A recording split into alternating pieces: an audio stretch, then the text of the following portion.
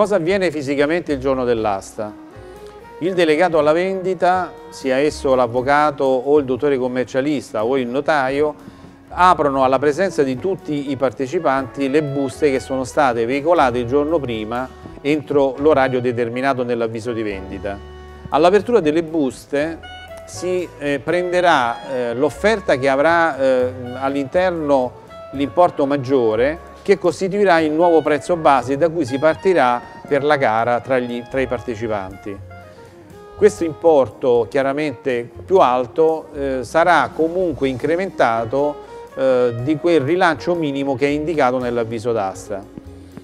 Al momento dell'aggiudicazione definitiva, e cioè quando alla declamazione dell'ultimo importo non seguirà un ulteriore rilancio da parte dei partecipanti all'esperimento d'asta, la persona che avrà fatto l'offerta maggiore risulterà definitiva aggiudicatrice. Eh, si eh, tradurrà tutto questo in un verbale di aggiudicazione che il delegato alla vendita redigerà e che porterà all'attenzione del giudice. Quali sono i passaggi logici che ci consentono di acquistare un immobile all'asta? Individuato l'immobile, vado fisicamente sul posto e mi rendo conto se il contesto di zona è a me gradito.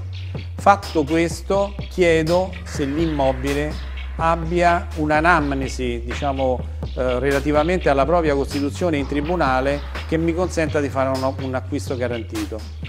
Questo è il passaggio logico più delicato che ci consente di arrivare al Red Razionem con la capacità di discernere l'immobile che possiamo acquistare dall'immobile che potremo invece lasciare andare per essere tranquilli.